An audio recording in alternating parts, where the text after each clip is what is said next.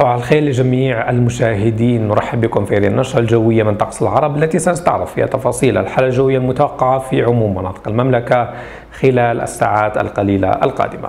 نبدأ نشرتنا بالتوقعات الجوية للعاصمة عمان خلال فترة الإفطار حيث تسجل درجة الحرارة 26 درجة مئوية الملموسة 25 الرطوبة حوالي 50% أما الرياح تكون جنوبية خفيفة إلى معتدلة السرعة وبالتالي الإفطار في الخارج سيكون ممتاز.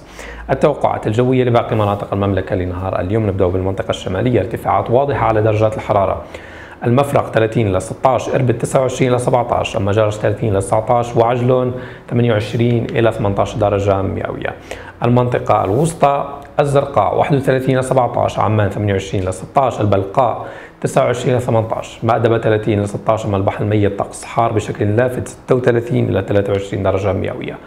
المنطقة الجنوبية الكرك 28 إلى 16 طفيلة 26 إلى 16 ومعان 29 ل 14 أما الشوبك 24 ل 15 والعقبة تفرغ لبعض الغيوم 34 ل 22 درجة مئوية.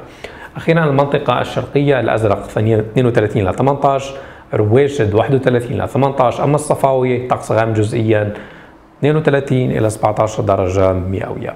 إلى هنا تنتهي نشرتنا للقاء.